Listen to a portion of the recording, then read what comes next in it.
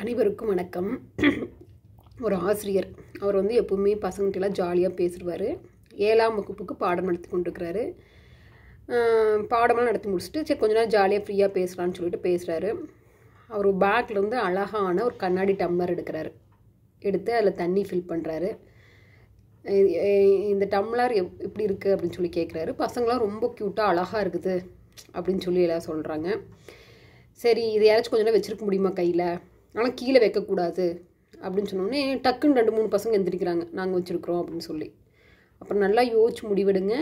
நான் வந்து மற்ற வகுப்புக்களாக பாடம் நடத்திட்டு வர வரையிலும் இந்த டம்ளரை கீழே வைக்கக்கூடாது அப்படின்னு சொல்லி சொல்கிறார் அதில் ஒரு பையன் சிரிக்கிறான். இது என்ன சார் வெயிட் இருக்க போகுது? ஒரு சின்ன டம்ளரில் தண்ணி ஃபில் பண்ணுறீங்க ஃபில் பண்ணியிருக்கீங்க இது வச்சுருக்க முடியாதா? இது என்ன வெயிட் இருக்க போகுது? கொடுங்க. நீங்கள் வர வரலாம் கீழே வைக்காமல் வச்சுருக்கிறேன் அப்படின்னு சொல்லி டக்குன்னு வாங்கிக்கிறான். அப்புறம் சாரும் வந்து கிளம்பிடுறாரு. மற்ற வகுப்புக்கெல்லாம் பாடம் நடத்திட்டு வந்து நான் வாங்கிக்கிறேன்னு சொல்லிட்டு போகிறாரு அந்த பையன் ஒரு மணி நேரம் வச்சுருக்கிறான். அதுக்கப்புறம் ஒரு நாள் வச்சுருக்கவே முடியல. கையில் வலிக்க ஆரம்பிச்சிருது. டம்ளர் சின்னது தான். இருந்தாலும் ஒரு மணி நேரத்துக்கு மேலே டம்ளர் பிடிச்சிக்கிட்டே இருக்கும்போது அவனுக்கு கையில் வலிக்க ஆரம்பிச்சிருது. ஐயோ சார் எப்போத்தான் வருவார் வருவார் கீழே வைக்கக்கூடாதுன்னு சொல்லிட்டாரு அப்படின்னு சொல்லிட்டு மற்ற பசங்கள்கிட்ட கொடுக்கக்கூடாது அவன் தான் வச்சுருக்கோன்னு சொல்லிட்டு ஒரு கண்டிஷன் அப்புறம் அவன் பார்த்துட்டே ஈவினிங் ஆயிடுது அப்புறம் சார் வராரு. அப்படியே சோர்ந்து போய் இருக்கிறான் என்னாச்சு சார் ஃபஸ்ட் டம்ளர் ஃபஸ்ட்டு வாங்குங்க சார். அப்படின்னா சார் வாங்கி கீழே டக்குன்னு கீழே வச்சிடுறாரு. என்ன சார் என்னை கீழே வைக்கக்கூடாதுன்னு சொல்லிட்டு நீங்கள் வாங்கணுன்னே கீழே வச்சிட்டீங்க? அப்படின்னு சொல்லி இந்த பையன் கேட்குறான். ஸோ உனக்கு எப்படி இருந்துச்சு?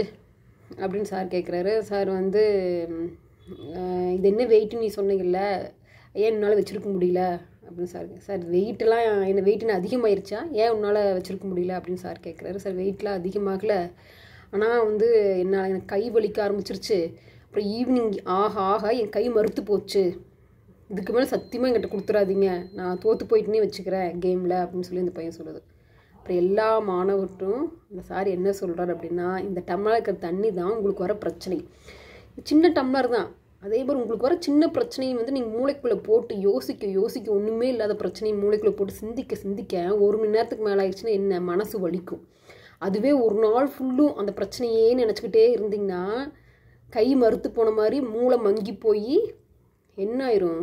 கிட்டத்தட்ட வந்து ஒரு மாதிரி சின்ன பிரச்சனையை பெருசாக்கி ஒன்றுமே இல்லாதது வந்து நீங்கள் நீங்கள் வருத்தப்படுறது மட்டும் இல்லாமல் டென்ஷன் ஆகிறது மட்டும் இல்லாமல் ஒரு ஃப்ரஸ்ட்ரேட் ஆயிடுவீங்க ஸோ இப்போ டக்குன்னு டம்ளர் கீழே வச்சுட்டுனா ஃப்ரீயாக இருக்குன்னு அந்த மாதிரி உங்களுக்கு வர பிரச்சனை தூர தூர தூக்கி போட்டுருங்க. அதை பற்றி நினைக்காதீங்க. நினச்சிக்கிட்டே இருந்தால் பிரச்சனை என்ன ஆகும்? பெருசாக தான் தெரியும். அதனால் தூர தூக்கி போட்டால் தான் நம்ம நிம்மதியாக அடுத்த கட்டத்துக்கு போக முடியும். ஒரு மூட்டையே தூக்கலாம். ஆனால் கொண்டு போய் வச்சுட்டோம் அப்படின்னா வேலை முடிஞ்சுது. அது வச்சுக்கிட்டே இருந்தோம். சின்ன டம்ளராக இருந்தாலும் சரி சின்ன பிரச்சனையாக இருந்தாலும் சரி அது மனசுக்குள்ளே போட்டு நீங்கள் நினச்சிட்டே இருக்க இருக்க என்ன ஆகும்? வெயிட் அதிகமாகும் பெயின் அதிகமாகும் அப்படின்னு சொல்லிட்டு அவ்வளோ அழகாக விளக்கம் கொடுக்குறாரு. இந்த கதை உங்களுக்கு பிடிச்சிருந்துச்சு அப்படின்னா மறக்காமல் லைக் பண்ணிவிட்டு சப்ஸ்கிரைப் பண்ணிடுங்க